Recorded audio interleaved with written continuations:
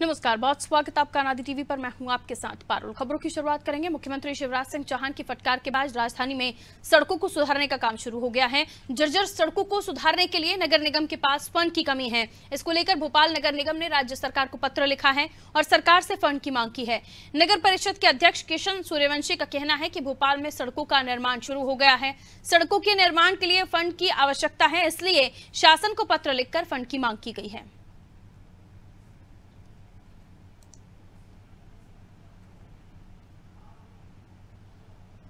भोपाल की सड़कों को दुरुस्त करने का काम शुरू हो गया है और रही सड़कों को भी बहुत जल्द दुरुस्त कर, करा लिया जाएगा। रही बात पैसे की तो शासन से चुंगी क्षतिपूर्ति और अन्य मदों में जो नियमित पैसा का आगमन होता है वो पैसे की मांग निगम स्वाभाविक रूप से करता है।